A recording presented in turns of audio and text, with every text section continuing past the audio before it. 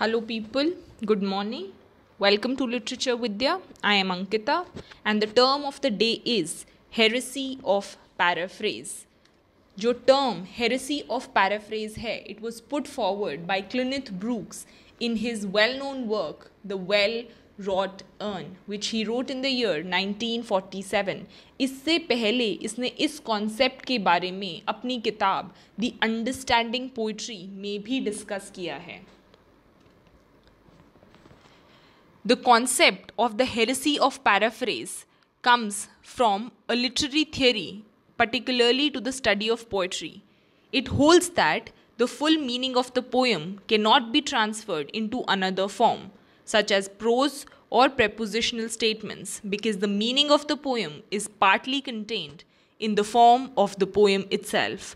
If the form changes, the meaning changes along with it.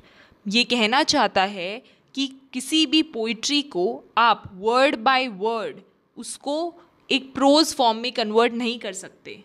क्योंकि अगर किसी भी पोइट्री को आप वर्ड बाय वर्ड ट्रांसलेट करके उसे एक प्रोज फॉर्मेट में कन्वर्ट करते हो तो सिर्फ़ पोइट्री ही नहीं बदलती, उसका मीनिंग भी बदल जाता है right so it is asking that this process of paraphrasing a poetry is wrong and hence he comes up with the term the heresy of paraphrase The concept was core theory of the new critics. I hope you are clear with the term. Thank you.